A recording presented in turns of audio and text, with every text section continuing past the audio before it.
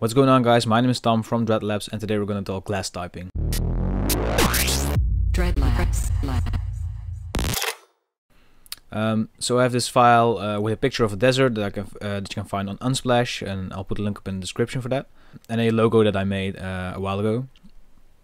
Uh, it's a bit unreadable but it says Xanax. Anyway, we're going to transform this logo as if it were to be glass and it will be like uh, refracting some of these uh, pieces of desert in here. Anyway, uh, let's just get started. Um, the first thing we're going to do is remove the fill. Uh, and add a bevel and emboss. And as you can see here, we're going to make the size a bit bigger so you can actually start seeing these contours. Um, and we'll lower the shadows because in yeah the glass inner shadow is mostly not visible. Uh, the highlights, however, are and I want to rotate this to somewhere here. And yeah I kind of want to up the size here and soften it up a bit so uh, transition is a bit more smooth between the highlights and like the nothingness here. Uh, and then I would also like to add an inner glow um, and we'll just reset this to default um, so we can you can follow along Anyway, I want to up the size so you can actually start seeing the highlights on every side of this. Um, and I like to make it a bit more noisy uh, to give off that little bit of uh, glassy, glossy feeling, I guess. Um, like this. And then just add a little bit of choke so the outlines are a bit more visible. Um, okay, so now that we have this, I want to do uh, add something more to uh, increase the realism a little bit. Um, so what I want to do is I want to duplicate the background here. And I'm gonna uh, rasterize it. And I'm making I'm gonna select Control A to select my whole canvas, and then add a mask around my canvas. And then I'm gonna apply a layer mask. And what this does is in my background here, um, I had a picture which was bigger than the canvas, and this picture right here is now only this square image. Um, this will be important for the displacement map that we're going to apply now.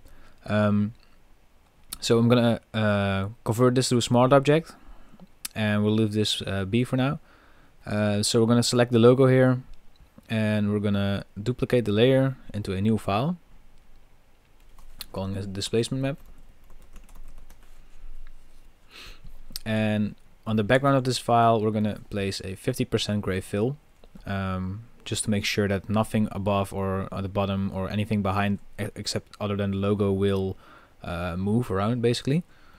So we're going to uh, save this as a PSD file, and as you can see, I already saved mine to test this out. Um, anyway, just uh, uh save it as a displacement and as a PSD.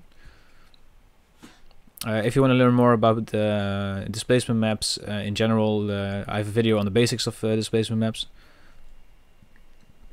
uh, which you can check out on our channel. Um, anyway, now that we're back in Photoshop, um, I want to make sure, again, that this is a layer that is only in the size of our canvas. Okay, so I'm going to go to Filter, Distort Displace. And for the horizontal and the vertical scale, we're going to add 50. And you can leave all these settings as they are. And then click OK. And then we'll load in our displacement map. And as you can see here in the details, like the where the edge is starting to uh, come, the uh, the view is kind of getting distorted, as if it were if you were looking to glass with a embossed effect on it. Um, so another thing that we can do is um, I'm going to duplicate this uh, again. remove the smart filter. Then we're going to go uh, and hit command or control on your keyboard and click on the logo here. And then mask this new uh, background layer again. So now that we have a now that we have a background that's only in the form of our uh, our logo here. We want to select this. Click on select, modify, contract I'm going to contract this by 20 pixels. And now we're going to go to select again, modify, and feather. And we're going to feather it by 10 pixels. And now we're going to remove the background and see if this is enough. Okay, so yeah, so now that we have this, um, uh, we can go back into our uh, original file here and you can see that the distortion is still there. A bit more heavy here. So what we're going to do is we're going to go and change these values up again. So we're going to select it again, go to modify, contract, and we're going to contract it by maybe 40 pixels. And then we're going to go modify again and feather it by 20. And yeah, so now we can see it's actually a bit more feathered. Yeah, this should be fine, I think. Uh, so what we're going to do now is, now that we have a um, version on top of here that's actually like, um, this lines up with the original picture as you can see. Um, so what, do, what I want to do now is, okay, so now what I want to do is I want to duplicate this one more time, delete the displacement map, and rasterize this layer.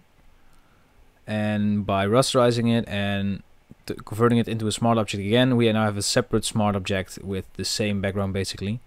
Um, so what I want to do is I want to uh, go into filter, blur, Gaussian blur, and I think about 20 pixels or something like that would be fine.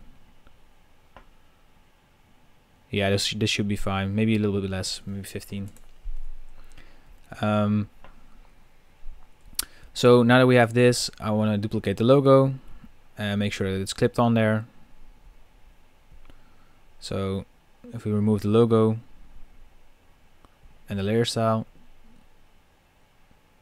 So uh, without the logo, uh, so without the layer styles on this logo and the blurred version clipped on um, the logo here, you can see that we're trying to make this clear. Uh, but if we uh, put the origin, so if we put this clear version on top of it, you can see that it's kind of getting more clear as we go inside in the logo. So um, this should be a good time to um, rename all your layers because it's kind of getting kind of complicated here. Um, so we're going to go logo clipping mask. We'll name this one uh, blurred desert. And now that we have this one, this is like the clear focused part of the desert. We can group this.